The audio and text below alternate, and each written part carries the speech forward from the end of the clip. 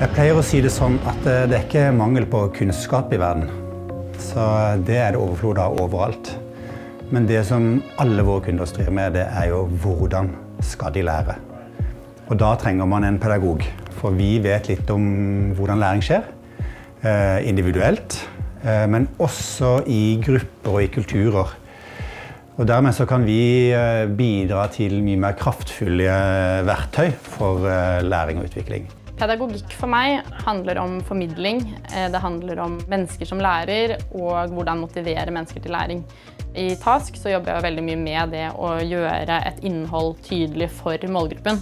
Visse både ordbruk, virkemiddelbruk, hvordan dette skal fremstilles for at det skal komme klart frem eh, og være relevant for målgruppen.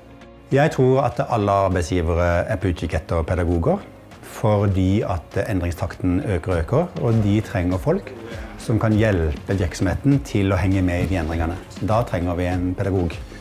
Så dette er pedagogenes tiår, og jeg tror det kommer til å være et etterspørsel etter det faget.